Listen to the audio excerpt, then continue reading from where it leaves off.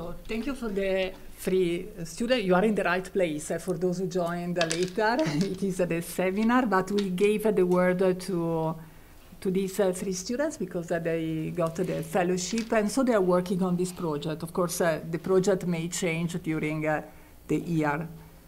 So let's back. And also, the, the goal of this uh, third seminar, because it is a seminar in value creation, it is the third one of the seminar series launched by the Research Center. The first one was in January of uh, the challenge of responsible AI, where we addressed more ethical issues related to the algorithm. In the second one, we addressed the business model, Internet of Things, crowds, with Professor Christopher Tucci and Bolvo. Uh, and it was a second subject, the, how AI is changing the business model. But today we have a, a third part of the story because there is a logic behind uh, linking all the seminar in the seminar series in value creation. And the focus today is to see how AI is changing more the ecosystem and which is the role of platform. And uh, it is a, a well debated topic uh, and a new topic, I could say. Uh, what is a platform, a, a, digital platform, a business, a platform in the ecosystem, and how the digital business ecosystem can be different compared to a, a traditional ecosystem. And in particular, which are the logic, the competitive logic that are put in place by the companies or other platform to gain a competitive advantage or to keep their competitive advantage in the long term. And uh, we had the chance uh, to have today a, a, top professor in this field, and I'm very honest in saying this, is uh, Professor Omar El Sawy from uh, University of Southern California, Marshall Business School is uh, editor, now emeritus editor of, uh, he was editor for several, several years of MIS Quarterly. He got uh, many prizes and uh, a huge number of articles uh, published in a top level journal uh, in information system mainly. But what is interesting in his perspective is that he is looking at this phenomenon, so the logic of ecosystem, how platforms are competing, from a multidisciplinary point of view. That's why he's talking with people from marketing, even if it's from uh, information system, but also artificial intelligence is part of this game. And uh, we we decided so to, to invite him uh, today, and uh, thanks uh, for accepting our invitation. I want to add also the fact that uh, Professor Omar El Sawy is part of our scientific committee inside the institute, and uh, so his role is also to monitor our activities and to give input uh, to improve uh, and to drive uh, the activities uh, of the specifically of the research center I represent today. Uh, we have not only Omar El Sawy, so the logic of each seminar series is to bridge uh, theory and practice. Uh, because the majority of you, some of you comes from the companies uh, and they want to learn uh, what the theory is telling them, which are the managerial implications. That's why in the philosophy of each seminar, we have a top professor presenting us, opening up the research, the idea, and driving also PhD students, uh, professor to look at in a different way their subject. This is the first mission of each seminar. But at the same time, to open up the debate.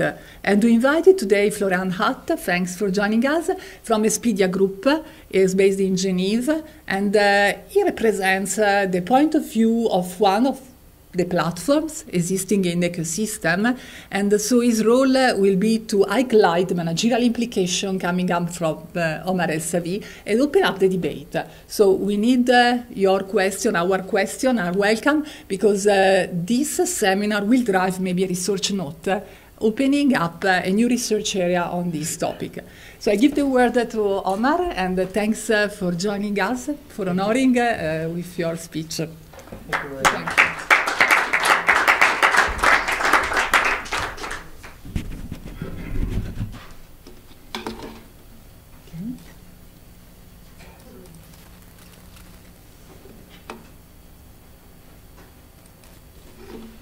Thank you. Uh, th hello, everyone.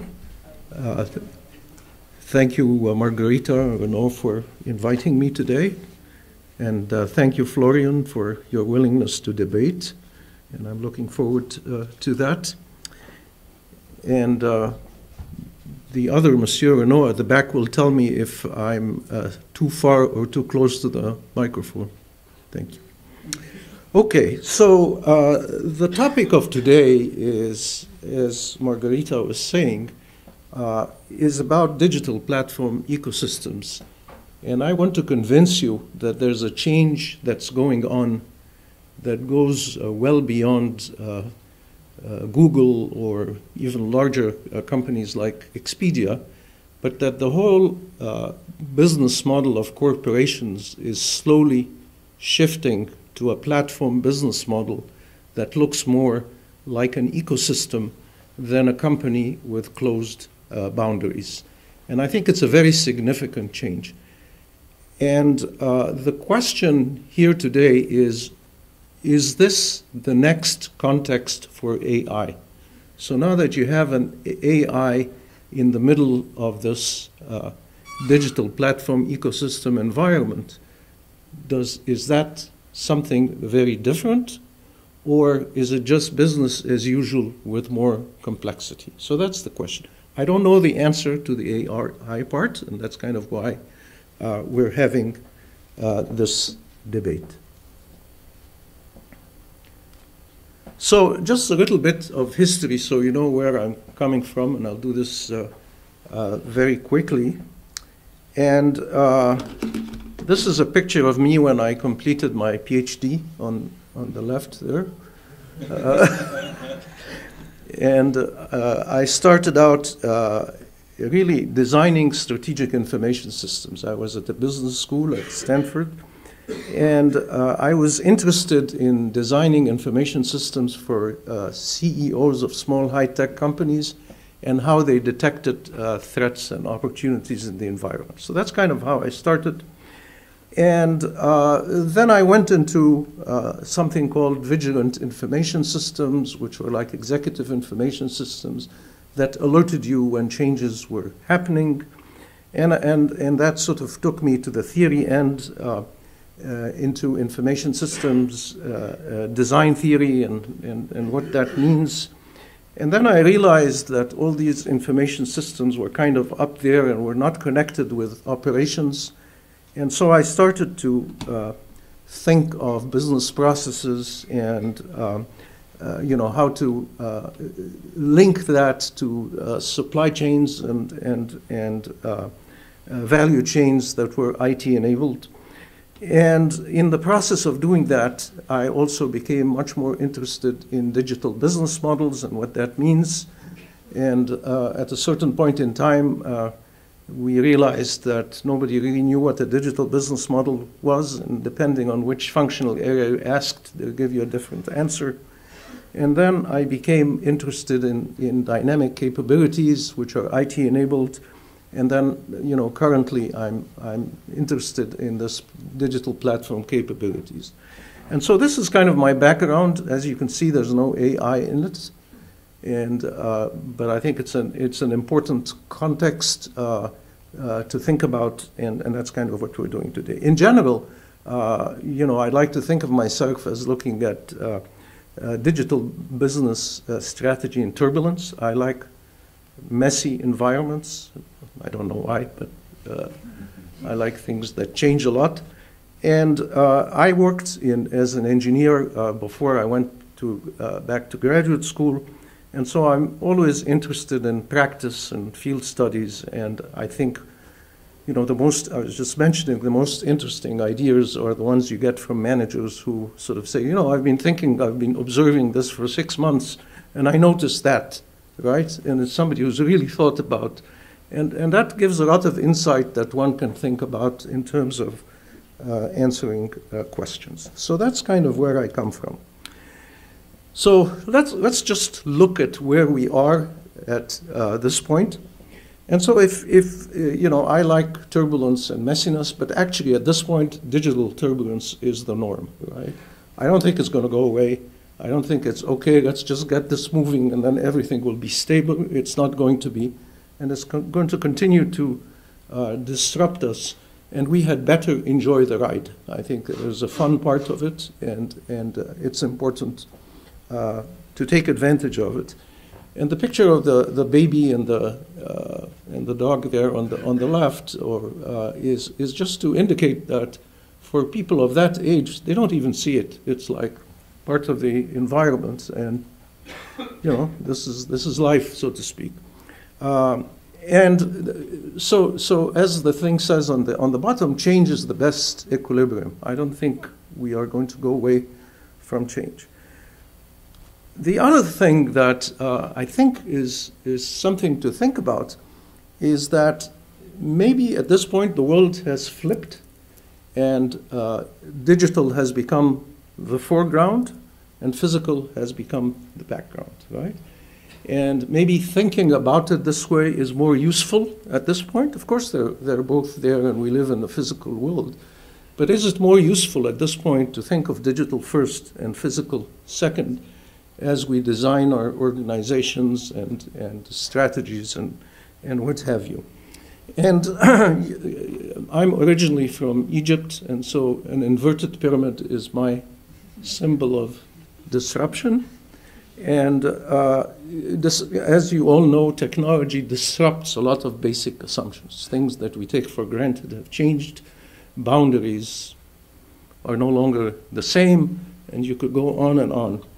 And what it also does, it gives you the opportunities for all kinds of new digital business models. And that's kind of the butterfly uh, on the right there that uh, you know takes you to areas and, and types of business models that we haven't seen before and give us lots of new opportunities uh, uh, that are exciting.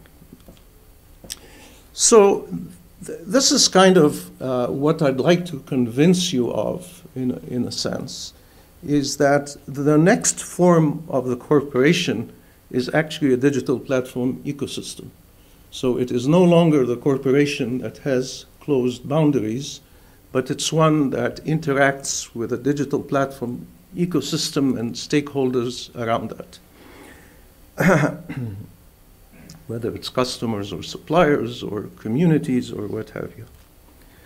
Uh, these slides come from MIT, actually, where they've sort of looked and, and, and seen that there's an explosion of platform companies you know, we know all the larger ones, whether it's uh, Google or, or Apple or what have you, but there are also uh, clusters in different industries that are starting to have more and more uh, platform uh, structures, and certainly the travel industry and Expedia is, is a great uh, example of that.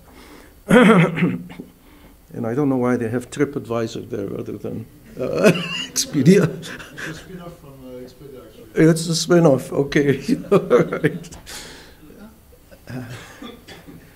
okay. So so this is the the talk plan. So first, I'm going to to try and tell you my views about digital platform ecosystems, and you can agree and disagree with them. And then I'm going to talk about research implications, and my area is information systems, so I'll stick a little bit more to that. And uh, I think uh, Margarita kindly uh, uh, distributed two papers of, of mine, and uh, I'm not going to talk about them, but their background, if you want, I'll touch uh, on them in, during the talk. And then what that means for uh, methodological and theoretical implications. And then the last part in, is, and I guess that's supposed to be French, uh, et tu AI? What about you, AI? How do you fit in this? And uh, are you going to change things in this setting and is this the next context for AI? yeah, and uh, next time I do that, I'm going to have Pepper deliver my talk. Yeah. All right, so what is a digital platform ecosystem? So there are different kinds of platforms. We tend to, to talk about them in the same kind of breath, but there, there, there are some differences. There are simple platforms. This is an example of a company that does e-commerce platforms uh, for gaming companies. And so it's got functionality on the platform. Uh, you know, you can, uh, uh, yeah, there's a loyalty program. There are things that check for age for games. There's a way to return games. You know, it's got all kinds of functionalities, but it's a simple platform. You know, the, it's, it's at the company, it connects with customers, that's about it. Then we have what you call foundational platforms, and these are very technical. This is, uh, Linux, this is Android. You know, this is a different type of foundational platform uh, that uh, I'm sure you're, you're familiar with. And then finally, whoops, the more interesting one is this third kind, which you might call uh, platform mediated networks. And, and certainly uh, Expedia is, is one of those, and this, this one here is, is eBay. And uh, you, you know, you have what you might call these network effects, where the different sides of the platform, or even the same side, uh, uh, you know, affect each other. So the more uh, buyers you have, the more sellers you get. And, and, there's all these uh, uh, interaction effects that actually allow things to sometimes grow very quickly and scale up uh, very quickly, and you get these network effects. And, and these are the more interesting ones, and, and these are the ones where uh, you know, uh, business digital platform ecosystems can be thought around. I like to point out the example of Under Armour as an example of a company that has become a platform company because, you know, it was a regular company to start with. Uh, Under Armour, for I'm sure some of you uh, know, uh, they, they sell athletic apparel, right? And it was first designed to be under football gear uh, or American football gear so that the, the players wouldn't sweat as much, basically. And so that's why it's called Under Armour. And, and then at a certain point, and you know, it's, it's been doing okay. It's not a very large company. Uh, this is a revenue of a couple of years ago, I think.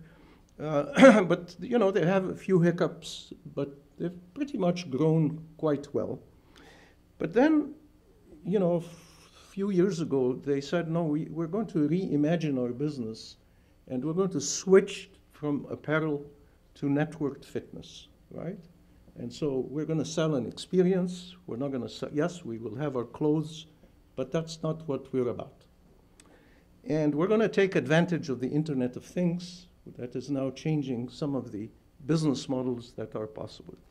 And so what they went and did was they went and bought a number of companies that have apps related to running and fitness and, uh, you know, uh, what did I eat today? What calories do I have? Uh, you know, competing with others who are running at the same time. Oh, I, I ran faster than you did. And, uh, you know, through this platform, they've created a, a community that uh, the last time I looked was 190 million uh, users. That's a very large number, right? Uh, and now they're interacting around uh, that platform. So what has happened is that uh, if you look at uh, Kevin Plank, the CEO of the company, his milieu has changed, so to speak, right? And his ecosystem has changed. And so he started interacting with IBM. He goes to the Consumer Electronics Show. It's, it's a different set of ecosystem partners that he's dealing with.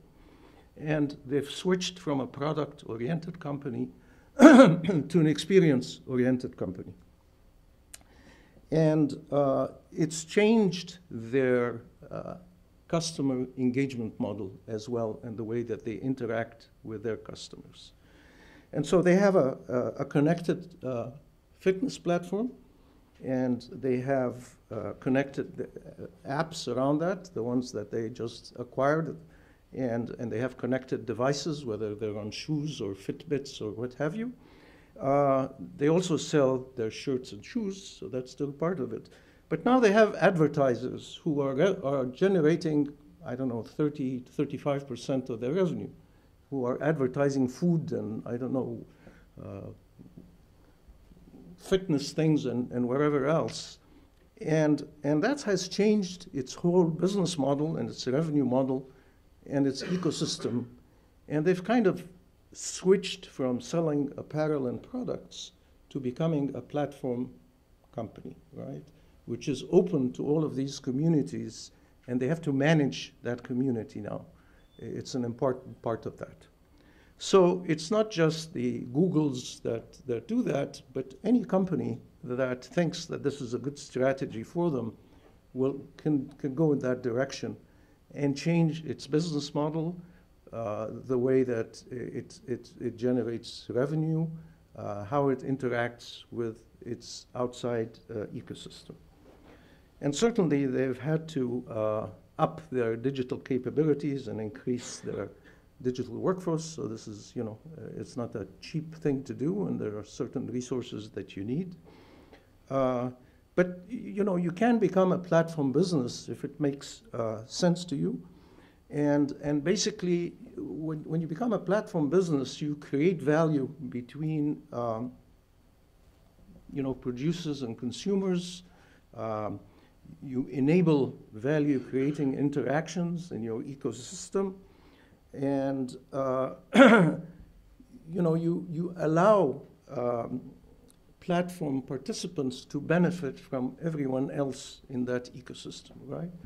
So there's a question of uh, creating value and sharing value uh, at the same time. And of course, a lot of platform owners uh, want to be the orchestrator of the ecosystem. So I'm sure that uh, Expedia has its own ideas, or you know, we're the center of the universe here, and we'd like to be that. Uh, but certainly you can still participate in an ecosystem as, I don't want to say a minor participant, but you don't have to be the orchestrator and you can participate in multiple uh, uh, ecosystems as well. And the fact that it's digital makes a difference, right? Because of all these connections and interactions and different rules uh, and different uh, characteristics. Uh, and um, I think I'm, I'm just going to skip this.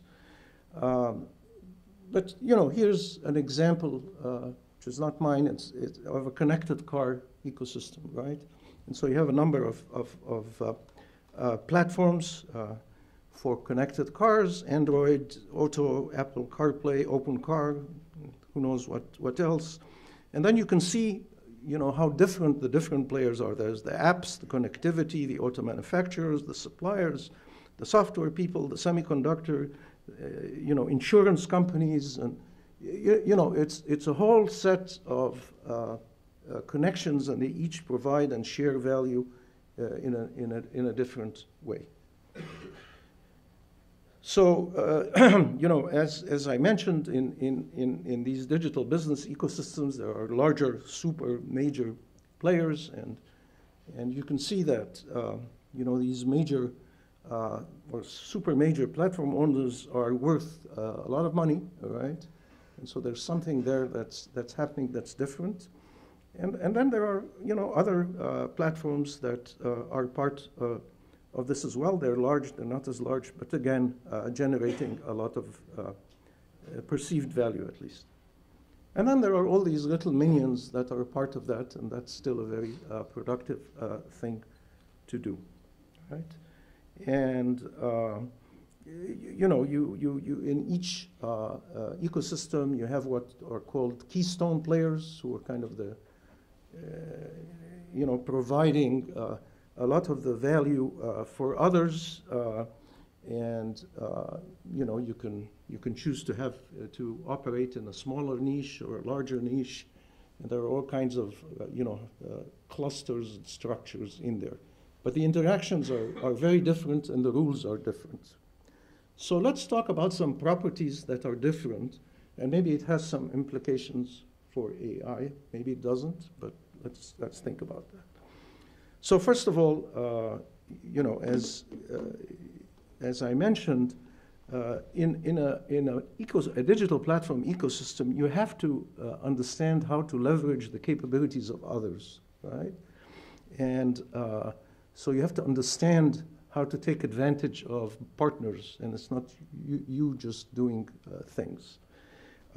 You also have to understand that you will get very diverse partners as, uh, uh, you know, for example, in that car uh, ecosystem, you're now dealing with, you know, all these software companies that you didn't do business with before. Uh, you know, a different kind of ecosystems, uh, telecom providers, what have you.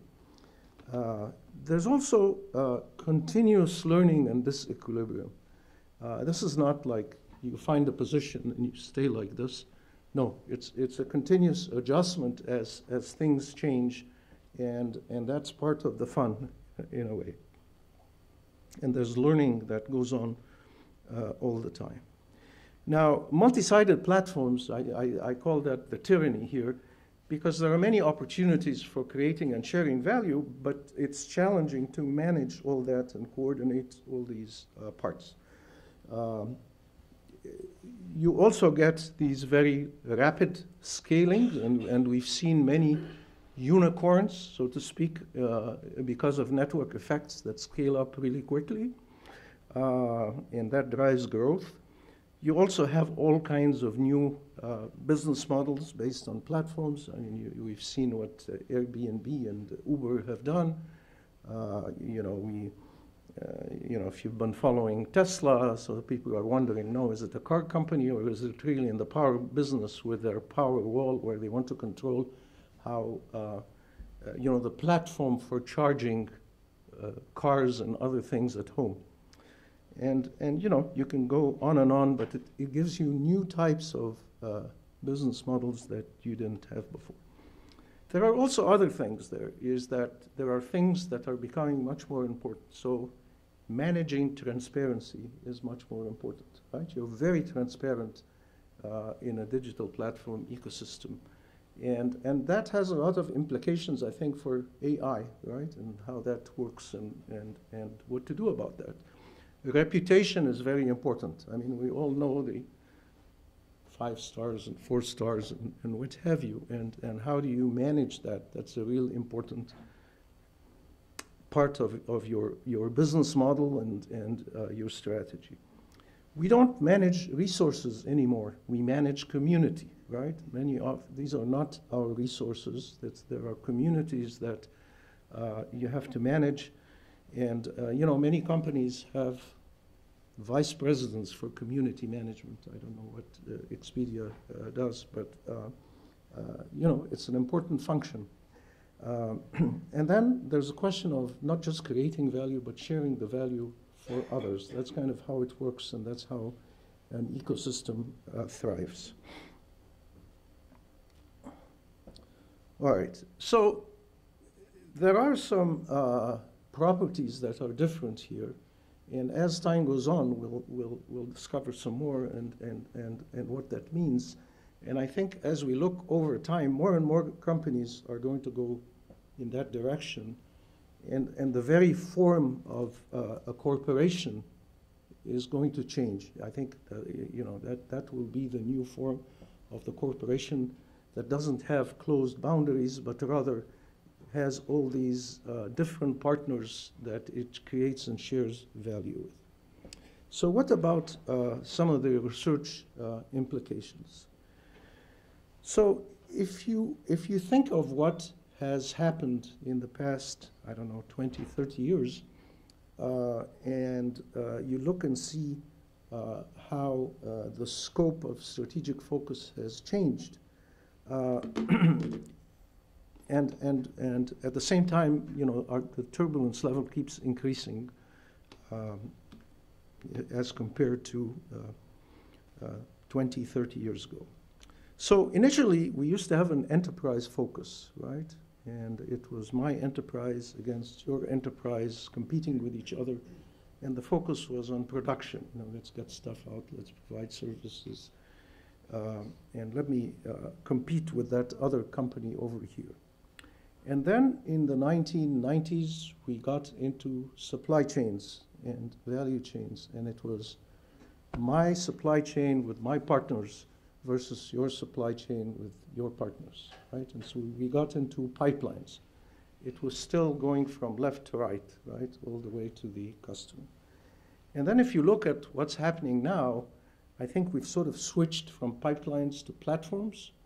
And, you know, a pipeline goes like this, you know, you, you get the product to the customer. A platform is, is more like this, right? You know, there are all kinds of different interactions going on in different directions, and it's not like a, a you know, a, a linear uh, pipeline uh, at all. So, so that's a change that uh, has happened in our strategic focus and how we think about it.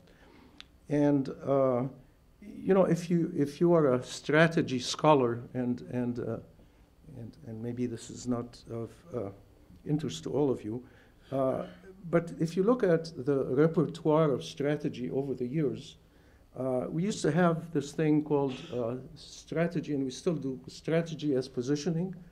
Uh, this is uh, very much for the MBAs here, the Michael Porter approach to strategy. And basically, it's like this, right? You find a good position in an industry, and you just keep everybody out. Yeah? Competitors out, substitute. It's very anti-competitive, actually, but and uh, but it has persisted, and uh, that's why I have a picture of Queen Elizabeth here, because you know, it's kind of yeah, she's still she's still the queen, right?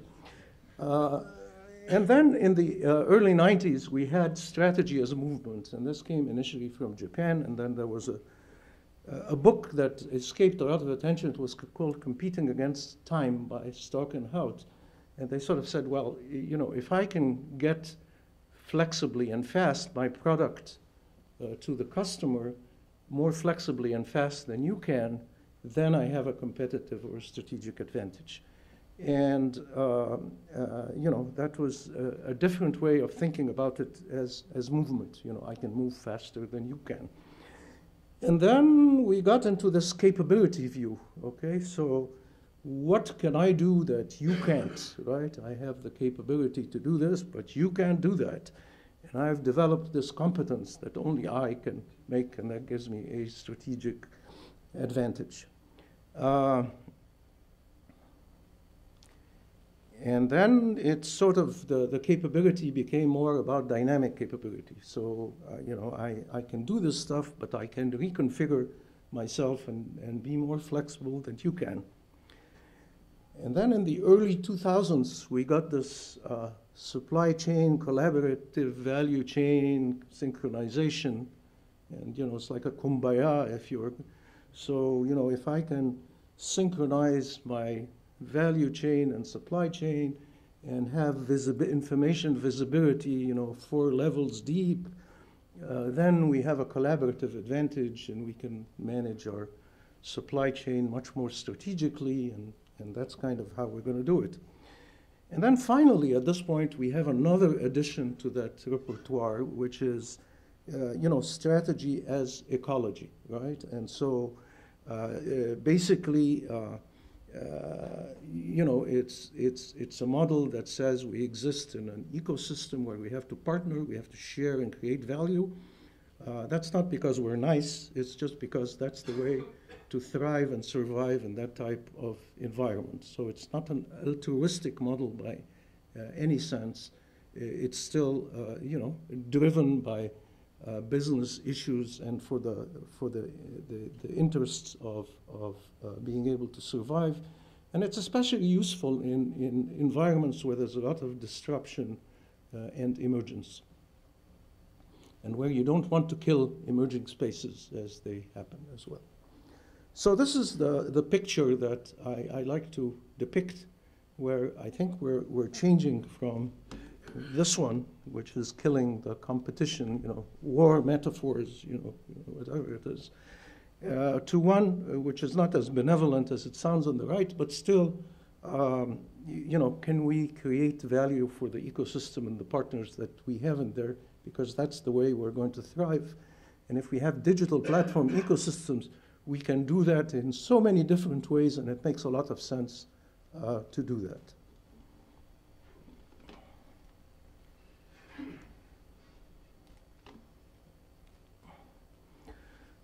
All right, and, and again, it's, it's kind of a different way of saying the same picture. The, the enterprise is porous. Uh, you know, we connect with customers, with crowds, with citizens, with competitors, and they help us all uh, create value. We don't have a hard boundary on the uh, enterprise.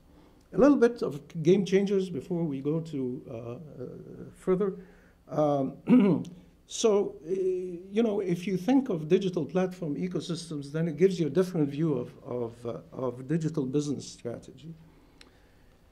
And so now, you, you, know, at least to me, I think of digital business strategy as you position yourself in an ecosystem. So, you know, these are the people I deal with. Uh, you know, I'm Under Armour, so I have the advertisers, and I have I don't know who, and I have the uh, production of clothes, and and the people who sell uh, I don't know wonder uh, superfoods or what have you, and uh, then I design a business model that goes with that positioning, right? And uh, I may discover that I don't have the capabilities to execute that business model, so I may go back and rethink my positioning. You know, I say, well, I can't do this, and and it's a continuous learning process. And at the end of the day, I think that's kind of what digital business strategy becomes. So that's one sort of, and it's like a yin and yang, if you will, uh, and and uh, uh, you know is is is kind of one is is generating the seeds of the other, and and on and on. As I mentioned before, you get unprecedented growth with network effects in, uh, uh, in digital platform ecosystems. You get the digital unicorns that you know are suddenly worth one billion dollars uh, overnight. And there's something very interesting also that it makes more sense to study exceptions rather than averages. And so at business schools, uh, we're very guilty of teaching our MBA students about averages, right? How to be a better average player, right? And so, you know, how, how can you be better than the average? And that's kind of a mentality, I guess it comes from regre- regression uh, methodology where, you know, you have a straight line and then you have this little point on, on the top and you say, no, no, no, that's an outlier. We don't care about that one. Let's just stick to the main event and see how we can make that line a bit better. And if you think about it, uh, maybe the exceptions in, in such cases are more interesting to study and, and more useful than averages, right? And so it's, it's something to think about. Uh, you know, we see that in, in, in you know, I'm in Southern California, so we have the entertainment industry.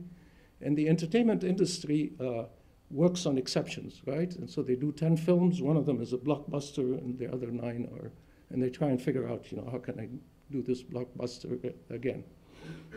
Uh, and then, of course, uh, you have to understand how to orchestrate external networks, which uh, requires a different set of skills. I think I've sort of mentioned that before. It creates uh, porous enterprises, and you have to worry about uh, flows outside the company. We have all this open innovation stuff where strangers are providing ideas for products, and you engage with a lot of different uh, parties. And then there are some other phenomena that, that occur. So something called platform governance, right? How you figure out how people participate in a platform business model becomes a strategic issue. You know, who, who is able to do what and, and who's allowed to do this and who's not allowed to do that. Uh, we, you may be all familiar with APIs and, and how it is that uh, you know, these are the things that connect apps together. And so, you know, uh, Google makes available some open APIs, and I'm sure Expedia, you have a lot to say about that. Uh, uh and I can go to Google APIs and, and uh, uh, use that, I don't know, as Zillow to show prices of, of homes on Google Maps, and Google doesn't even have to know about it. Uh, and so, how we govern uh, those interactions is, is a very important part of it. And, and APIs are a business, I guess, and uh, you know, what do you keep open, what do you keep closed, and so forth. And you know, how do you partner with all these access rules? So, so platform governance is, is a major business issue. It's not a technical issue anymore. And then, of course, there's the, the question of unbundling assets and, and what we call asset light uh, strategies. Uh, and, and I guess the Uber example is, is the most vivid one, and, or, or Airbnb, where you know you don't own your resources and you, you just unbundle them, and everything is, becomes a service, so to speak. And certainly, we're seeing that in, in mobility very vividly, and we'll continue to see it in other areas. So uh, if you think about it, uh, you know, again, to emphasize it, I think it's the next form of the corporation. And you can think about it as the unit of analysis, if you're a researcher, has changed. So rather than just looking at the uh, enterprise itself, we have to look at the enterprise and, and its digital platform ecosystem around it. Otherwise, we will miss a lot of the insights and, and the implications uh, and the strategies that go with that. Any questions at this point, or, or should I continue? And, and uh, how, how would you like me to do this? So I want to make sure we have enough time for the debate. Okay. All right. So let me. okay. So let me talk about uh, theoretical and methodological uh, implications, which may be of interest to some of you, but not all of you. Uh, but uh, given this environment, should we rethink how we do uh, research and what our research paradigms are? And so there are different theory types and structures that we build, and they have associated methods, right? And, and the reason this guy is kind of shackled and, and chained is because the, the, the methods that we use uh, actually have a lot of baggage that go with them. And so, you know, as I mentioned that you use regression, it, it tells you to ignore the outlier, right? So we, we miss that. Uh, so should we be rethinking our theory structures and, and our methods?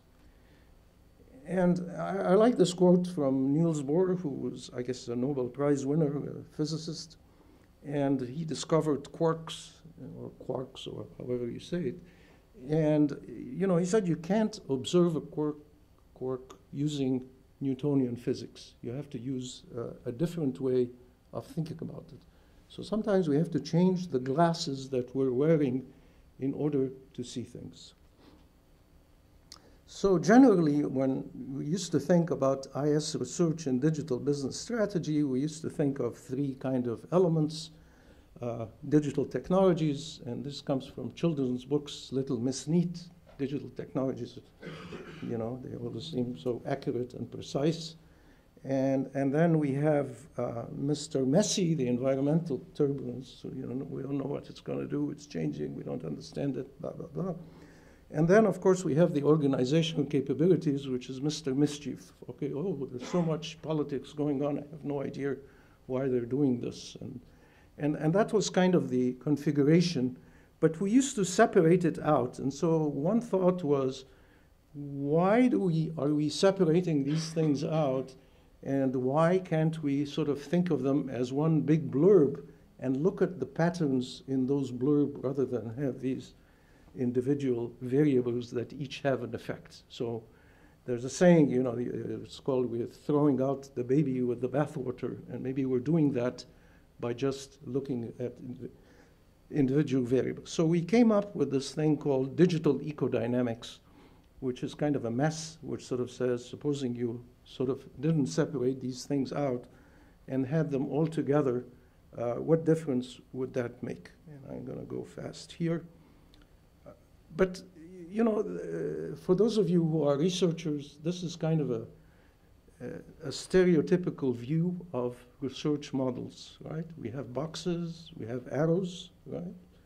And we have moderating variables, we have uh, uh,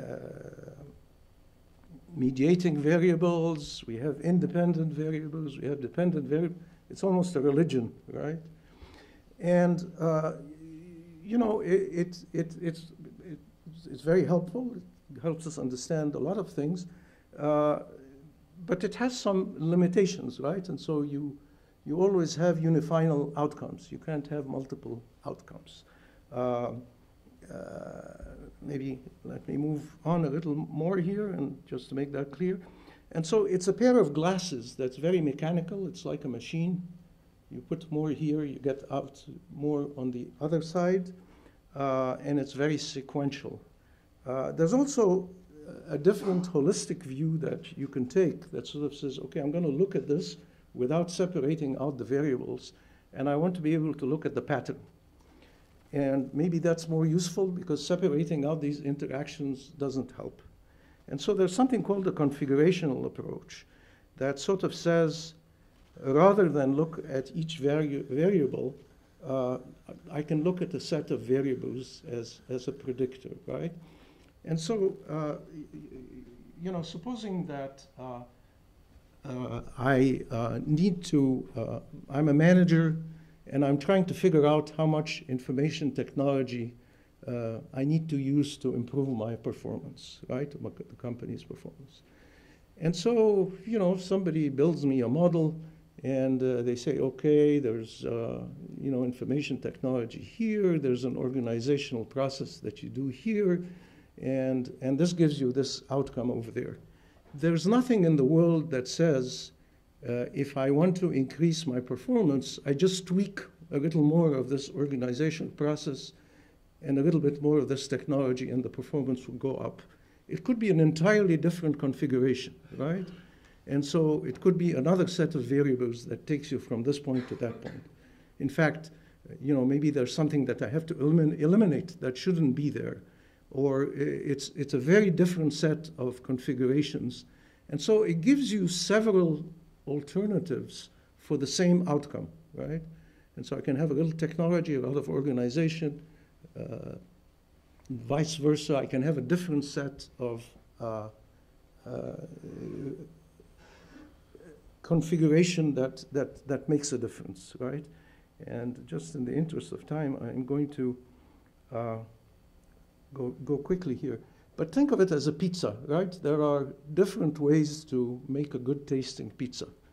Maybe cheese is always there. You know, you always have to have cheese. But the other elements, depending on what you want, will change, right? But it's more useful uh, to look at the pizza as a whole than to start thinking, okay, let me look at the effect of mozzarella cheese, or maybe that's not a good one, or peppers. And so that's the idea there. And until recently, we didn't have good methodologies for doing that. And then in the last uh, 10 years, I guess we have this uh, methodologies that people have uh, developed. Before I do that, let me just uh, make a comment about the different types of theories.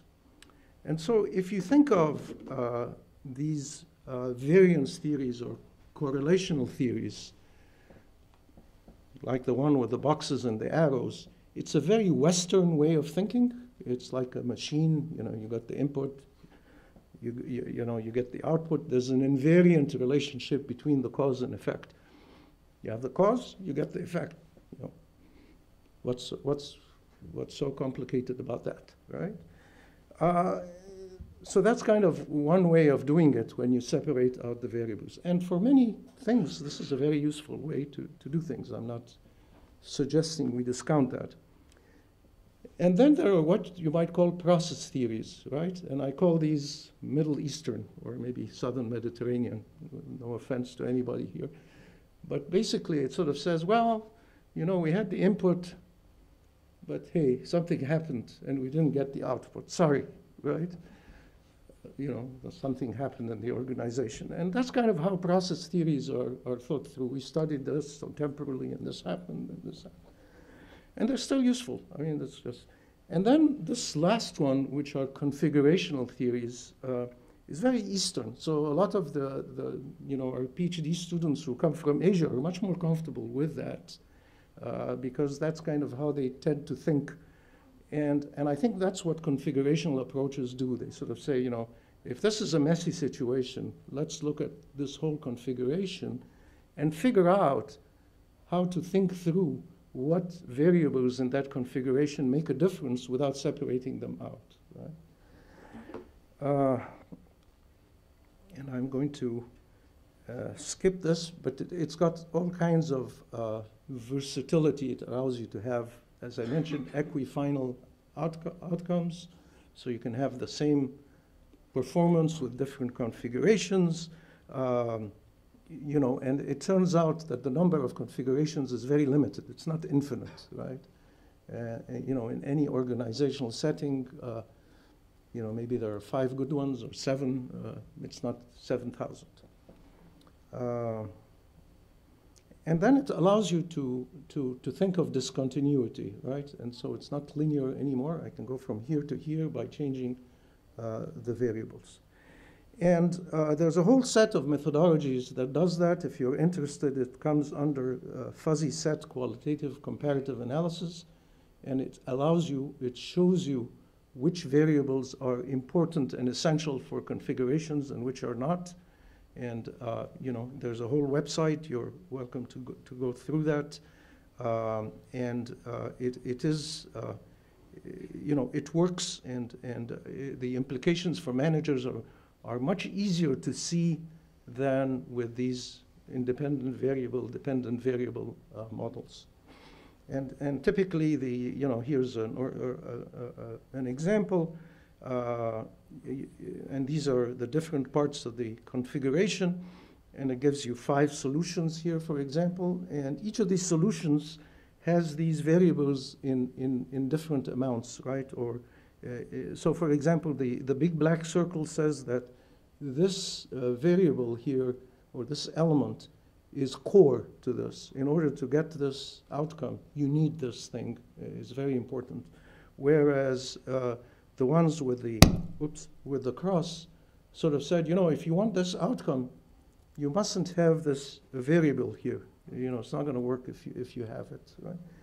And, uh, you know, if you're interested, uh, uh, I think there's, there are a number of references in, in the paper and there's, uh, that I, I provided, and there's an example as well.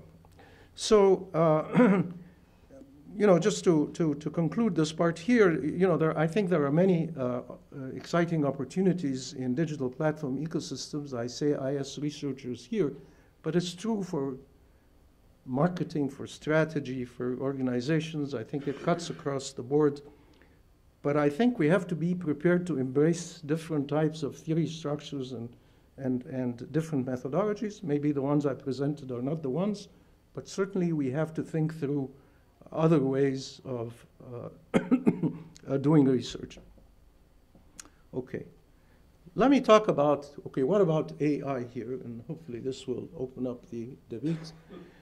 So, uh, you know, I've often figured, tried to figure out what is AI, right? And you hear 700 different ways of it being said, and I'm sure there are experts here who will correct me.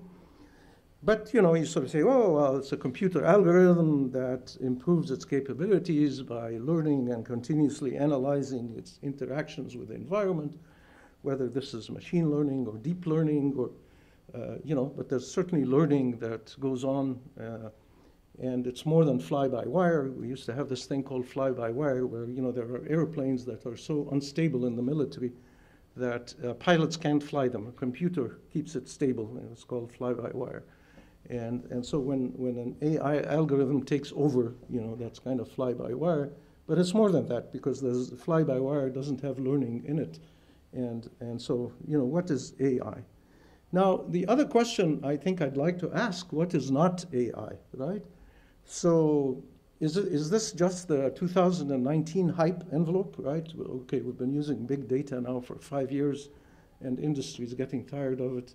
And so why not call it AI and put you know big data inside AI for now, and you know let's uh, let's talk, let's have this you know be the the driver, or is there uh, you know something else going on there? And that I think is is part of the debate here. And of course, as I mentioned here, they're soul sisters, so they amplify each other. Uh, a, you know, AI works well because you have all this data, uh, and so you know there's a certain connection. But what is not AI? What is it that, that is not AI? Is any algorithm that learns AI? Is that it? Or you know, is there? And does it matter? Right? Maybe splitting hairs around that doesn't really make any difference. We kind of have the general. Uh, yeah. Um, and sometimes, you know, names give, you know, a general feel for the, for the field, and that's useful. I was just relaying that I was talking to somebody uh, about smart city projects, and he said, please don't use the word smart city because it sort of implies that other cities are dumb, and I don't like that. So, you, you know, everybody has their, their thing with, with names, and, and so th that's kind of one question I hope we will debate here. And then the second question that comes to mind is Is it useful to differentiate between the different forms and stages of AI? Or is that like splitting hairs? You know, we're just you know, doing this exercise. So we talk about assisted AI, and we talk about, you know, which make, does things more efficiently or faster or what have you. And we have augmented AI, which will do things that you couldn't do before. And then we have autonomous AI, which will kick you out and take over. Uh, you know, that's, that's and, and uh, you know, if you look at the uh, autonomous mobility literature, you see all kinds of different, okay, self-parking versus I don't know what, and, and they keep categorizing. Or are we going to go like the way of the web, where we had web 1.0 and web 2.0? Are we going to have AI 1.0, AI 2.0? And they say, no, no, no, you don't understand. This is AI 3.0. It's different. You know, let, let me explain to you. And is that useful or it's a waste of time? And, uh, you know, maybe we have to be more contextual. So is it about automating business processes or finding insights or engaging with customers? Maybe that's the, the way we think about it. Or is it all about predictive analytics? So, you know, how useful is it to sort of cut and splice and, and differentiate between different forms of AI to understand what is going on?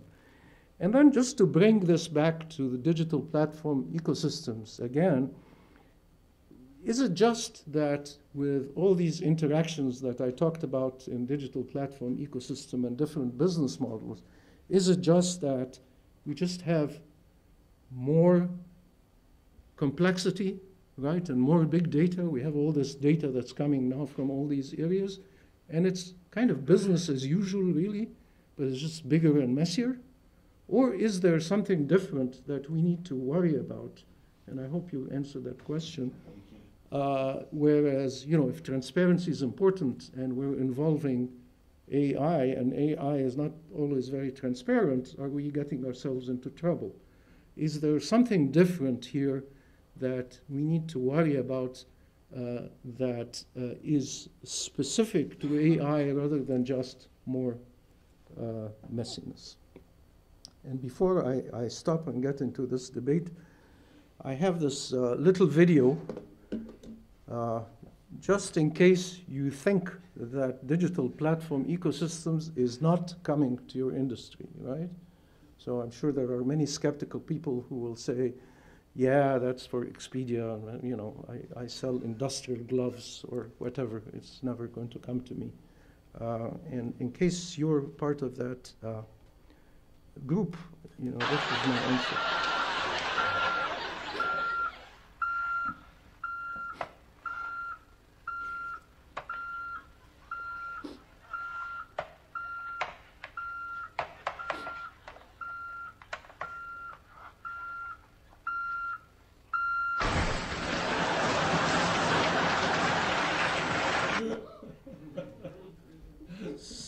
So let me uh, stop here and I don't know whether uh, we do the debate or we, uh, we have questions or. Please.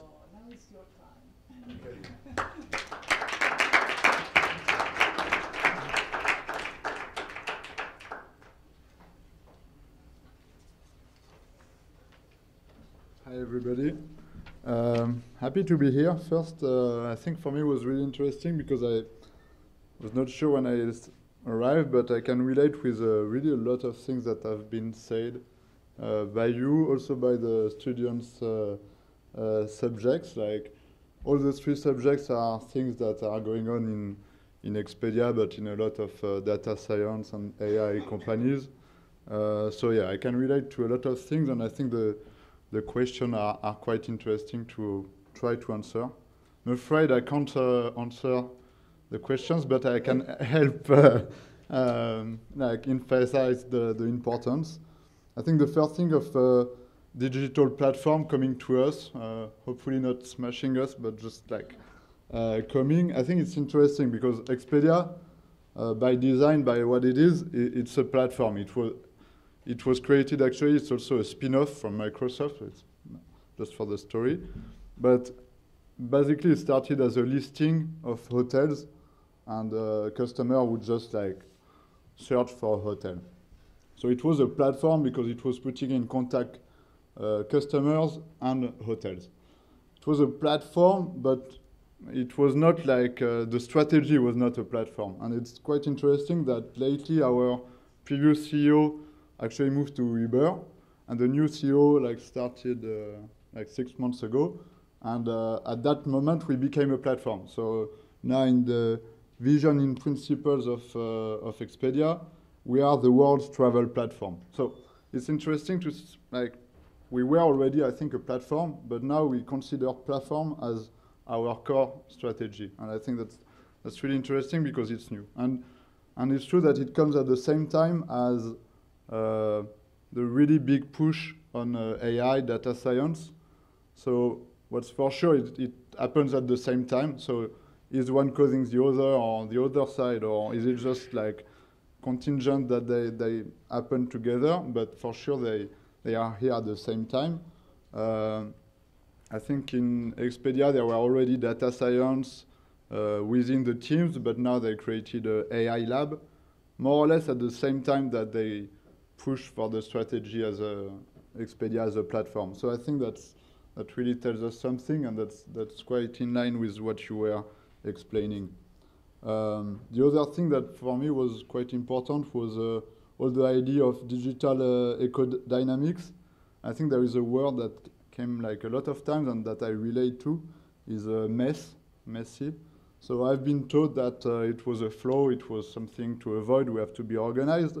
And actually now the mess is my job. So it's like, and I think maybe that's related uh, of the like rise of AI, of data science is like when, when you have like millions of data, like it's a real mess. And actually the job of any data science, any AI is to clean the mess of the data and I think that's where really data science, AI, like whatever the, the strict definition, comes into place. It's like such a mess in the data, in the, in the platform, in the industry, that you need something to really uh, get you insights that you wouldn't be able to have with like the previous technology. Uh, I just tried like in terms of messy, complex, and dynamic. Just I started. Uh, at Expedia five years ago, and I just listed like what has changed in the industry. Like when I started, what happened since I started. So uh, I think mobile was a big push when I started. It was like maybe 10% of Expedia business. Now it's like 40%. Some competitors are at 60%. So mobile, big change. Um, I, am sure you all know all the meta comparisons website. We, we mentioned TripAdvisor, which is actually a spin-off of Expedia, meaning we sold it and it became a competitor. I mean, uh, um, but also Trivago, Kayak, all those players. Like five years ago, it was maybe 5% of uh, Expedia business. Now it's up to 30% uh, without even counting uh, Google AdWords. So big change. Then Google also, they enter the, the, the game with, uh, they have Google Hotel Finders. Um, Airbnb, of course, big one. Uh, Airbnb coming in the game, which means like Expedia, they bought uh, HomeAway, which is a, a US kind of uh, vacation rental. Um, a lot of uh, merger and acquisition. So Expedia is not only Expedia. We we just uh, so we bought like Trivago, which is the the, the meta search, uh, HomeAway for the vacation rental, uh, some rail websites, some like different things. One of the biggest competitor uh, of Expedia is uh, Booking.com with Priceline. Uh, they bought Kayak, they bought OpenTable. So like the, the the industry is also like moving like that. And it's not like I'm just acquiring my, my competitor. I'm acquiring uh, another website, uh, meta search, I'm acquiring OpenTable, I'm acquiring, so it's like, it doesn't go like in one single pipeline direction, it goes all over.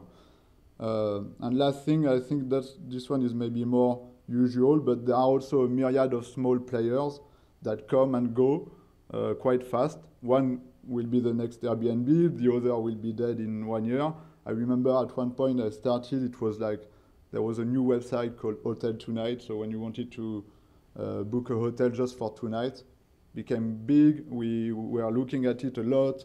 People were thinking we would buy them, and then two years ago it was like went back down. So like when I look at all the things that have been like just in five years, I'm not talking like, uh, I think we can see that, that like really dynamic and, and changing a lot.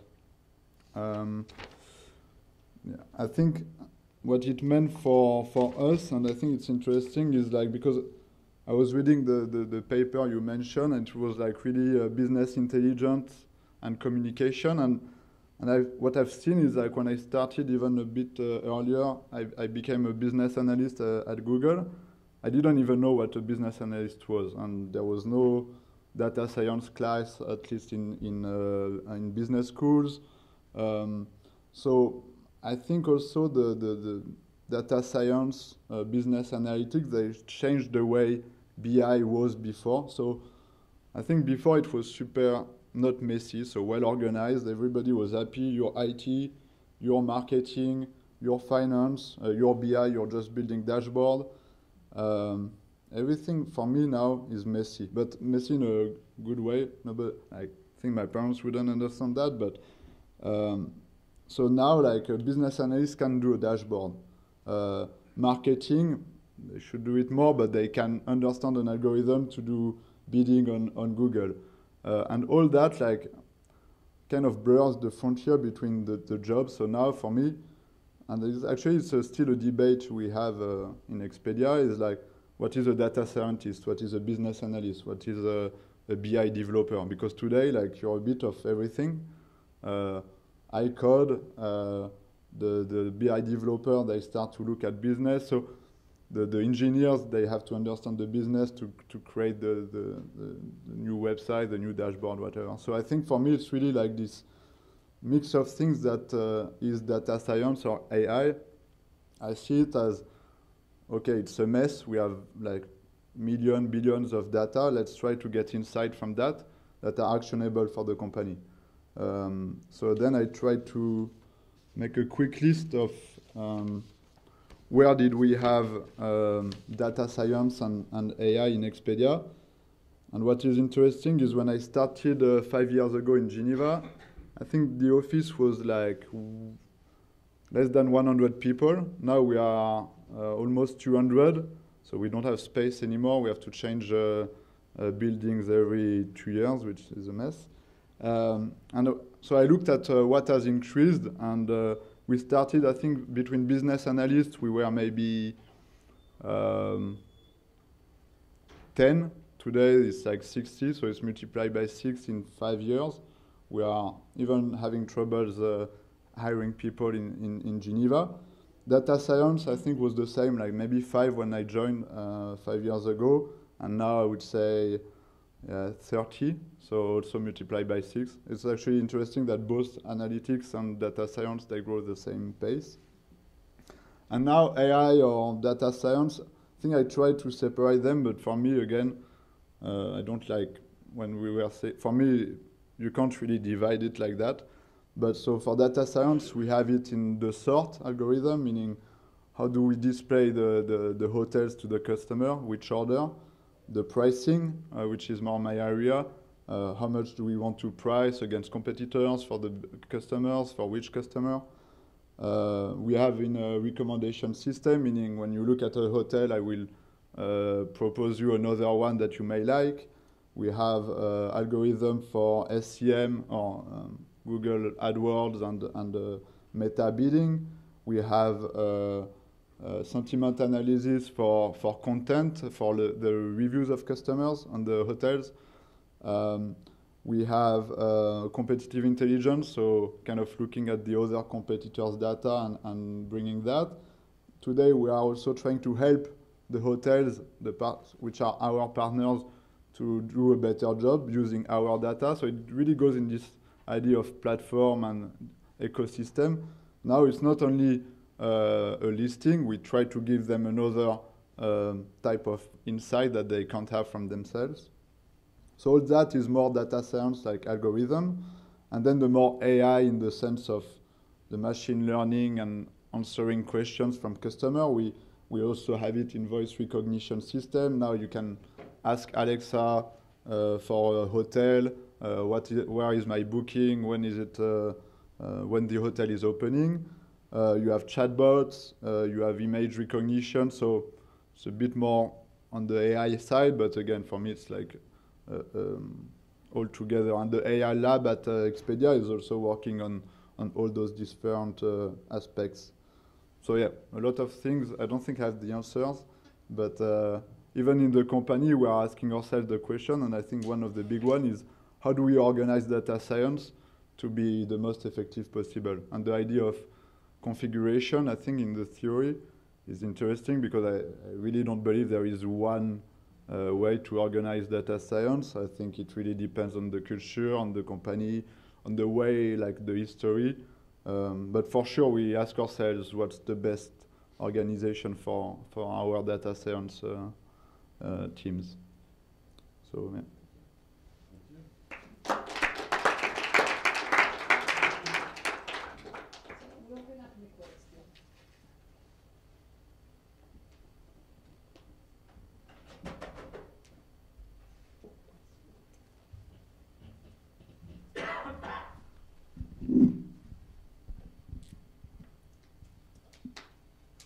I start with a question uh, specifically for Expedia that may be of interest uh, for us. Is uh, in your view, you are mentioning that uh, in the hotel industry, in, the, in the, your work in the travel, uh, there are more and more platforms, more and more competitive service. So if you look at in the long term, we may say that there is emerging of a giant. So it's this situation sustainable, the emergence of different platforms that are competing, but at the end the customers are the same and so also the, the network effect that the platform can uh, arise. So if uh, it's better maybe to merge uh, platforms or. Uh, I think it's interesting. In uh, so you are mentioning the idea of now the companies are kind of fighting to get the to be the coordinator of the platform, and I think that's kind of what's happening now. So everybody is trying to to build the platform and to be the the center of the platform. Uh, Google, they, they did it quite well now, so they are kind of really like on the spot. Uh, maybe even Facebook for the social network, I'm not that sure. They acquire new companies to keep, to stay in the center of the game. I think what's quite interesting with the, the travel industry is uh, we don't know yet who will be the, um, the main coordinator of the future platform. Everybody still wants to be. The hotels chain, like uh, Marriott or others, they also try to build their own. Uh, I think the two major competitors uh, are um, Expedia Group and the uh, Booking Group, that was Priceline Group before. Um, and so I think what's interesting is we don't know yet how it will evolve. Everybody is trying to fight for this like platform coordinator.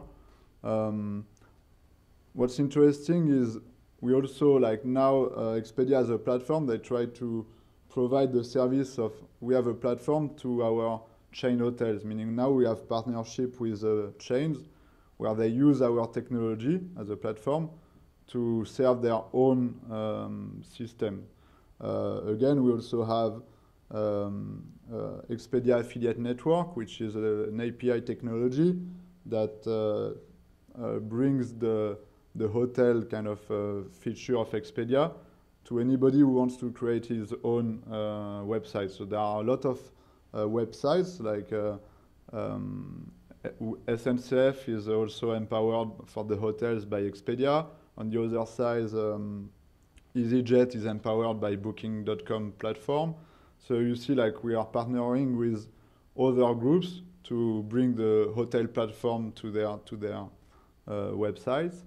Uh, then we also have third-party, what we call third-party inventories. So other, uh, like other players that have other contract with hotels, sometimes more interesting in terms of price. We open our platform to their inventory, so third-party inventory. Um, so you see a lot of those dynamics are happening, but uh, I think nobody can tell like what it will look like even in two, three, five years. So, but yeah, for sure, people are fighting for this central position.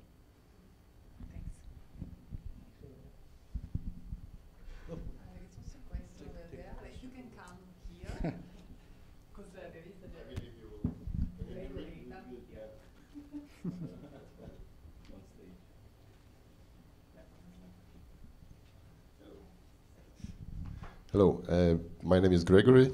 I'm sorry, I will stand maybe like that. I'm a digital startupper, if I can call myself like that. And uh, what I like very much in what you said, I like uh, disturbing, I, I, like questioning, I like uh, harming dogmas, searching for uh, motivation standing behind certain processes, certain situations. But also, I like to look for synergies. So, question to you: uh, as far as I understood, you have uh, actually uh, a lot of experiences and high competences in managing communities, in um, managing social platforms. This naturally, and uh, as far as I uh, understood, there is a harsh competence within the area which we could call uh, travel and leisure industry, because more or less this is what you are in. But for me, it naturally, your competences and your abilities, your experiences, they create a huge space for synergies. Uh, if taken one step farther, for example, travel and transport which uh, in fact for you it, it, it's it's it's it's within your experiences within your capacities. It's just you know another step left. Are you open on new uh, sectors on new synergies? Do you do something or you are eventually interested in startups having their ideas and having their projects already in this new area? Thank you i think it's also interesting because it goes uh, still again with the messy concept because like actually Expedia started like it's both hotels and now uh, flights. So on the Expedia website you can book your flight. Um, the former Expedia CEO is now Uber CEO. So like, I think a lot of things will still continue to happen. We just uh, acquired a, a rail uh, website in US, meaning we're also investing in in that kind of uh, of uh, platform. And again, it's like before we were like I, I feel like before uh, companies were acquiring like either competitors or either uh, a company in the in the direct pipeline chain, and now it's not only uh, the transportation. It's like uh, booking. They bought OpenTable, uh, so it really goes in in a lot of different directions. And I think that the companies are trying to see to permanently look at what are the different areas. Transportation, like for sure, like um, in in the Expedia kind of thinking, there is like we want to transport the, the, the, the, customers from their home to their holiday place and bring them back. So transport, Uber, uh, flights, all that is part of the of the eco. I mean, all that is part of what Expedia consider as its own ecosystem. So, I mean, they were already there uh, with the flight, and I think that's uh, a differentiation with uh, with Booking today. Is Expedia through the Expedia.com website? They they they bring the flight. They bring a few like car rental also. Uh, we all, we also have a lot of car rental companies inside the, the Expedia group, and we are also partnering with others. So I, I, I really believe that's how Expedia is looking at the, the ecosystem. And uh, OpenTable, I think, is, a, is another really interesting um, example where you go in a direction that is really not your core. Like, it's not hotel, it's not transport, it's even like how do you book your restaurant for the night. And now Expedia is also on the, um, how do you call that, like the, the package or visits. Like now you can book your visit to go to uh, Cathédrale de Fourvière. I'm not sure if this one is in the, but so they really try to look at the ecosystem as much wider than just like hotel.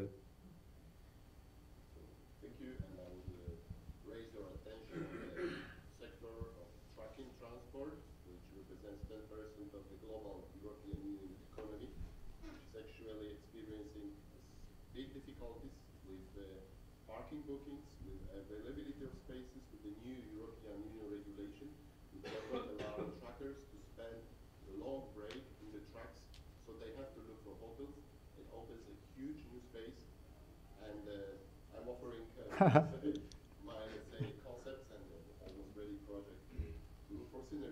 I think that shows like uh, what you were saying now, like the world is becoming much more like that, and it's like you you it's like the same for data science. Like uh, I think the innovation comes from bringing together uh, groups that wouldn't really have discussed before. So.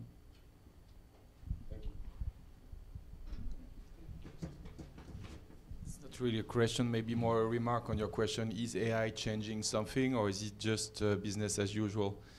Uh, I'm talking more about AI, not from the data, big data point of view, but on AI from the robotics or IoT point of view. I'll take two examples uh, and really comments. If you look at mobility, uh, you mentioned it with the autonomous car.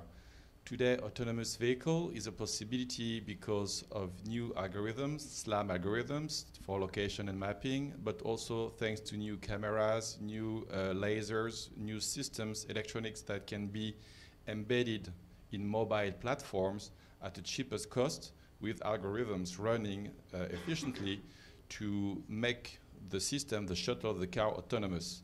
So because those technologies are emerging, then new business, new products, and new services are emerging that are then challenging the way the cities, the smarter or the augmented city, and not smart city alone, the way the cities are being designed. Because with the emergence of possibility from the technology, new products come on the market and those products on the market are changing the way the, the whole ecosystem in which they are integrated is, is, is developed. So it's a case of cities being disrupted by autonomous mobility. Another example is in healthcare. If you look at uh, robotics, uh, surgical robotics, thanks to minimal invasive um, techniques today, done through with robots uh, or with very high quality AI-driven robots, the surgeon is still in the place, but the movement of the surgeons is being augmented thanks to robotics uh, and AI-driven robotics. And this is also challenging a lot the way the hospitals are being driven because through the minimal invasive surgery, uh, the patients don't stay as long in the hospitals as they used to be. So the hospital manager, they have to deal with a flow of logistics that is completely unusual and unexpected. So the way they are to manage their supply chain, the way they have to manage the flow of patients coming in out more frequently, and the way they have to build, you know, their own hospital is totally changing. So I believe that AI, you know, not only data but also linked to mechatronics or other systems, helps pushing new products, new services that in the end will have a dramatic and hopefully positive impact on the different domains in which they are uh, sold or deployed. So I do believe, uh, but uh, maybe I've been too long in AI and robotics, so I do believe that yes, this is somehow transforming and we need to understand how the, those new technologies and products are effectively transforming. And it's not business as usual, but how can we create value? What are the challenges that are not only business challenges, but also societal, social, and ethical challenges should be also taken care of. So I just you know, wanted to make this long precision. Can I, can I ask a, a, a question, a follow up on uh, what you just said? Uh, so, uh, are you suggesting that we should not talk about AI for products and IoT and, and tangible things in the same breath as we talk about AI in general? Uh, because we are confusing those two things, whereas you said it's not just data, right? But it's changing products, and, and so should we, is that the distinction we should make? That's a huge question the uh, Europe, the European Commission is asking itself today.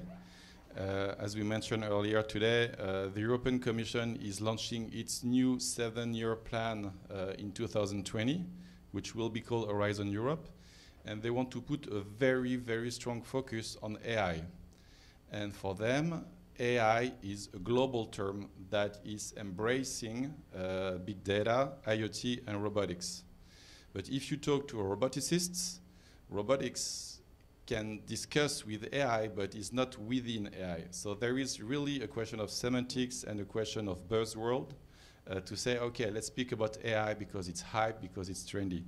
Uh, the way we approach it in the institute and in the research centers is to look, okay, let's talk about AI broadly speaking, but make a difference between what is AI linked to data and big data, but also what is AI linked to robotics.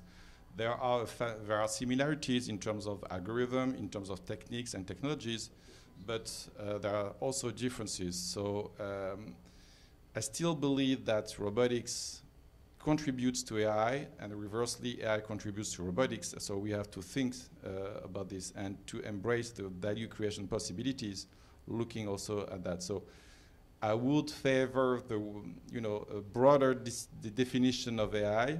Uh, if you look back at the funding fathers of the AI, for them, the way they defined AI is a new scientific discipline based on the understanding of the way the brain is working to give intelligence to a machine. So they are looking at you know, neurophysics or different cognitive sciences and taking those models, apply that to the machine. So there's no, there's no link only to data because they also speak about the machine. So the definition is broader and it's a scientific discipline. So we should not forget that. So yeah, consider also robotics at some point.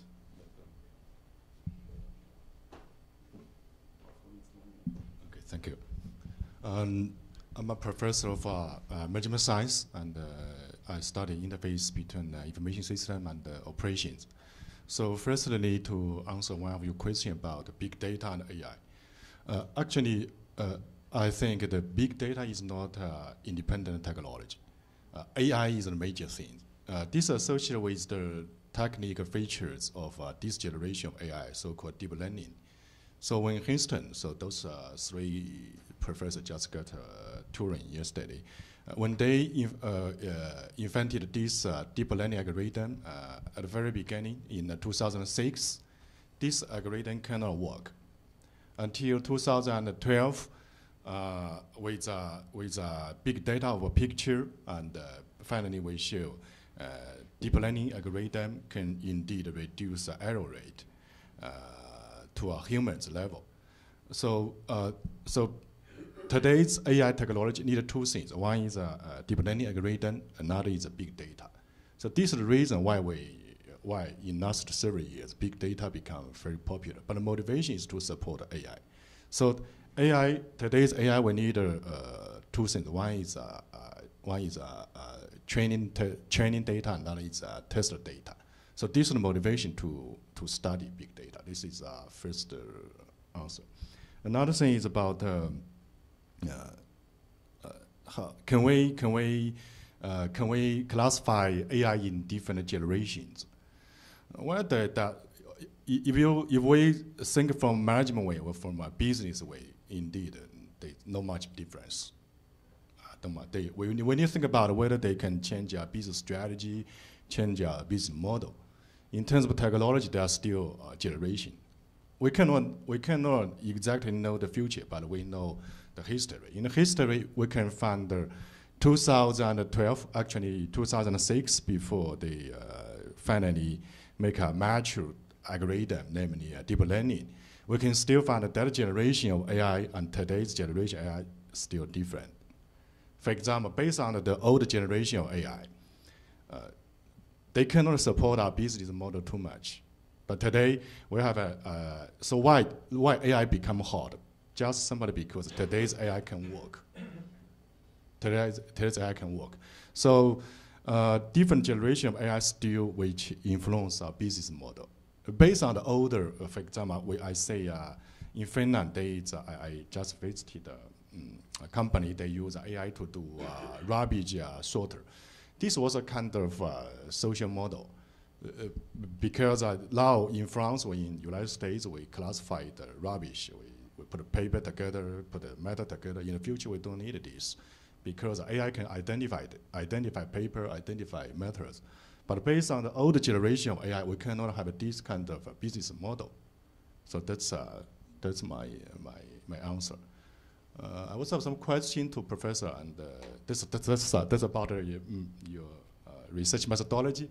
I'm um, use a configuration approach. Um, I also read your paper, very, very interesting paper, uh, Sui, Sui paper.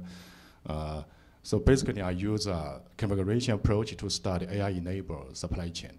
So first, uh, first step, I use a quantitative to identify number of uh, configuration.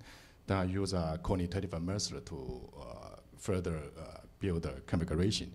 I just don't know uh, how to identify the number of configuration. Uh, yes, uh, uh, by some quantitative method, I, I, have some method like a, a cluster analyze, MDA, these kind of things to identify number of uh, configuration. So, for example, when you write your paper, how how you identify the number of uh, configuration? Why we identify three configuration or we identify four configurations? How how can we do that? Well, actually, the methodology.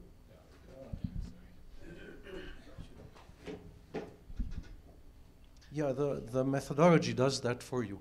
So uh, it will take care of it and it will generate a number of viable uh, configurations that, and there are some parameters that sort of say, okay, uh, you know, these, you should consider these and just drop these. Uh, and so it will do it for you, actually.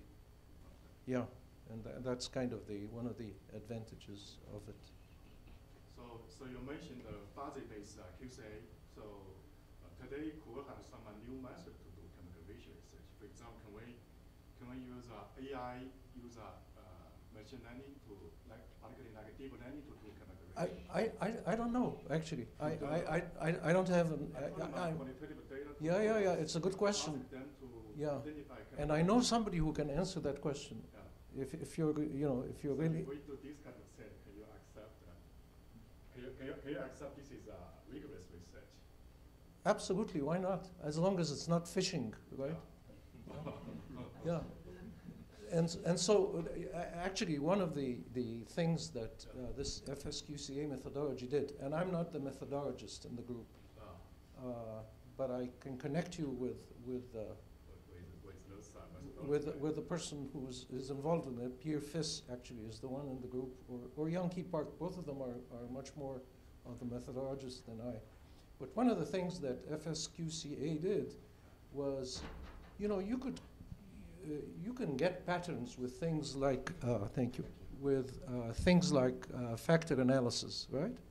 But it's factor analysis is fishing, yeah, right? Absolutely. That's a, that's a, right? Sometimes this is my problem because I found uh, research by quantitative uh, research, research results by quantitative methods sometimes is a little bit boring. But quantitative research is uh, very interesting. Sometimes, uh, if I use a mixed method approach to do configuration, uh, sometimes the results cannot fit. Right, right, right. And so uh, one of the things that FSQCA did was by showing which were core variables and which were, were not, yeah. it, it, took care of that, and, and there was a way to, to justify it. But if you really want to, uh, you know, get a lot of uh, discussion about that, I can connect you with uh, either Peer Fiss or, or Young Park. I have a question for um, Florian, if you allow me, and for anybody else, maybe you know can. Uh, and I'll, I'll, you know, I, will relay it to a personal experience, for, and, and, then we'll, I'll take you there. But basically, uh, I teach a course on digital business models, an MBA course, and I've few years ago, maybe three, four, uh, you know, when I used to say something in class, and uh, let's say in a, in a class of uh, 35 or 40, I'd have five people from China, actually. And, they, and, and these are not uh, people uh, who are Chinese born in the US, no, they're from China. And they would sort of say, no, no, no, no, in China we don't do it this way you know, whether it's payment or e-commerce or so forth. And then I started to notice that, you know, there was something very different going on. And so in, in subsequent semesters, I would at the beginning of the uh, semester uh, sort of say, who here is from China? I expect you to contribute to the discussion by telling us what is different and educating everybody else. And there were differences. I subsequently also uh, uh heard uh, Eric Schmidt uh, from Google sort of say, well, you know, there are two internets. There's an internet in China and there's an internet in the US, and they're different. And, and uh, you know, platforms are operating differently in those two places. It's not a question of just separation, but it's different. And uh, then I also heard uh, Kai-Fu Lee from China, who's into AI, and uh, he was saying, well, you know, uh, AI is thought about differently in China than it is everywhere else. So when you look at this from Expedia, and whether it's China or, I don't know, uh, Venezuela or whatever else, uh, you know, what, what do you see? Uh, do you see one global system, whether it's in uh, AI or platforms? And, and this is for anybody else also. It's unfair to. I think it's interesting. Uh, it's true that I think most of the companies they are trying to see what's the right uh, business model to to go in Asia and particularly China. I think uh, again it, it it goes more towards the right partnership than uh, just trying to take the business model and putting it there. Expedia also was interesting in when they tried to uh, go to Europe. Like I think there is really like a, some kind of local um, vision for hotels is true too. So it was hard for Expedia to grow in Europe after they became like number one in US. Then they tried to go to Europe. Uh, was harder because the chains were different, the hotels were different. That's why kind of Booking.com grew so fast in Europe. And then now you have those two major players that both try to go in Asia and particularly China, and they have difficulties. So that's more on the is the are there two different uh, platforms ecosystem? Uh, I'm not sure they are that different. I think there is a, a frontier to pass. I don't think the platforms are actually that different. And then more in terms of the skills and the um, the view of uh, the, the, data science from different uh, countries.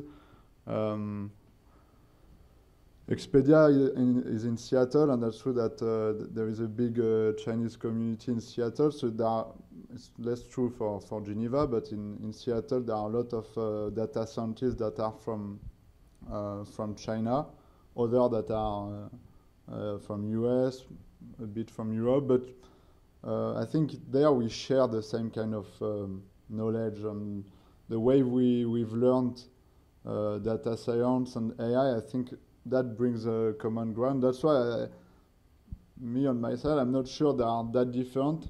I think there is like a, a business commercial. That's why Porter is maybe still a bit right.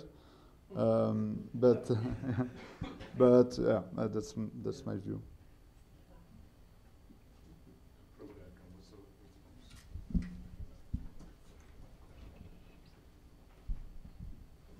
Um, so firstly, uh, first talk about internet problem. So yes, there are two uh, internet, there are two, two AI world, uh, Chinese world and uh, US world.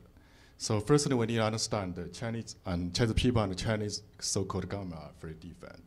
For example, like uh, obviously Chinese like me, we, we hope democracy, uh, we hope freedom. We don't like Chinese uh, so-called Great Wall in internet.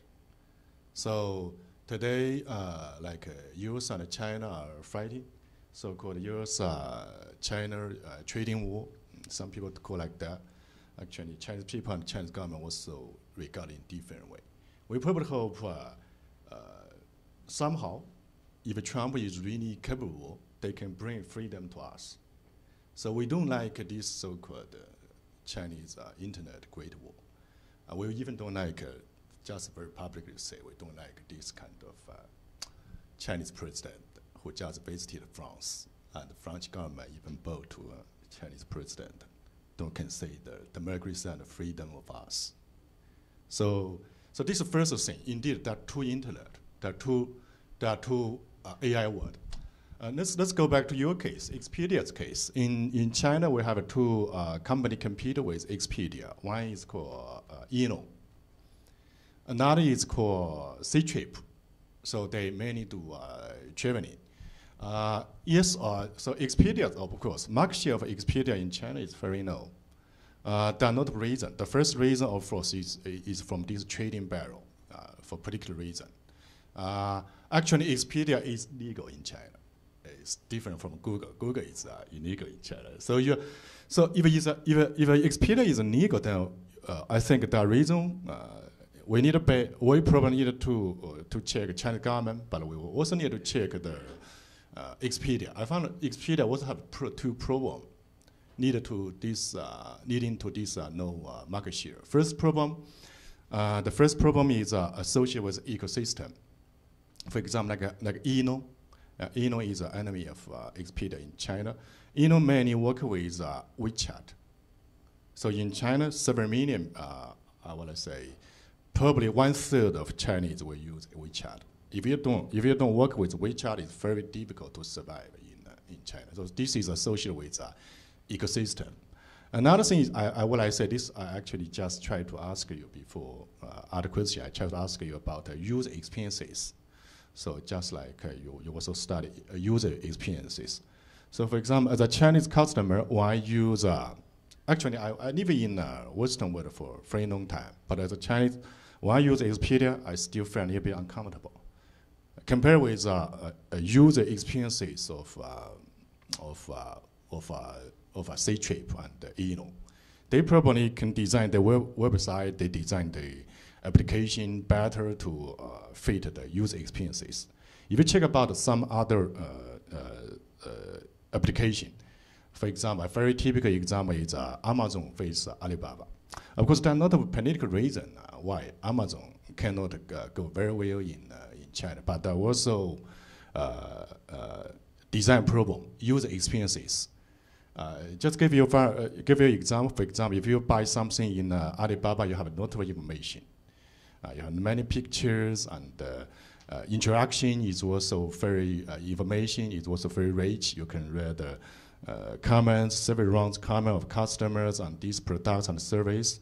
But when when living in uh, uh, France, certainly I cannot use Alibaba. When I use Amazon, I immediately feel you can always find in terms of user experiences there's always some di difference between Amazon and Alibaba. I mean, the, the design level of uh, Amazon is always a little bit, just a little bit worse than Alibaba. So is Expedia. I think probably you need to uh, infer some many manager on big data or on, uh, actually this also belong to marketing research or information research to improve user experiences. This is another way, so why the market share of Expedia or like uh, Amazon in uh, Chinese market or in Asian market uh, is, is not, not that high as that in United States or in uh, European Union. I think it's interesting because we make a case of China because it's almost compared to the countries in Europe, like it's a, it's a continent country. Because when you think about it, it was hard for Expedia to come in Europe. It was in each individual European country, you have also cultural and user experience difference. When you look, you mention uh, uh, eBay or Amazon. In France, you have Le Bon Coin. Like, look at, you will look at the user interface, like UX experience of Le Bon Coin compared to Amazon. You're like that. They are different. Of course, like France is less a big market, so you better uh, get the Chinese market right than the French market. So I, I still believe like it's like there are different cultural differences that all the companies that want to be worldwide need to tackle, and it's hard. And that's why, like on, on Europe, Expedia is not as known as in the, in the US, and that's why they bought Hotels.com, which is a UK-based company or was, and UK was more similar to Europe. Then for for China or for Asia in in overall. Um, Booking.com, they bought uh, Agoda, which is Thailand company, but that helped them to get into the overall Asian market. And I think this idea of partnership is the right thing to do. Also, like uh, so far, Expedia was not that strong on, on mobile, and uh, Chinese or Asian market are much stronger on the on the mobile app. And you mentioned WeChat. Uh, like I agree on you need to to see the market uh, locally and for that, the, the ecosystem and the partnership, I think, is the, the way the companies try to, to tackle that. We, I think the, we, we had a, a, partnership at one point with Ctrip. Like, I think the companies they will stay different, but they will start to have partnership to help them understand a, a local market. Of course, China is a huge market, so everybody wants to get in. But like every single, like India is also a special case, which um, uh, is interesting for travel. Like so, I think yeah, they, they try to use the the platform ecosystem as a way to to get in those different uh, markets, which have their specificities.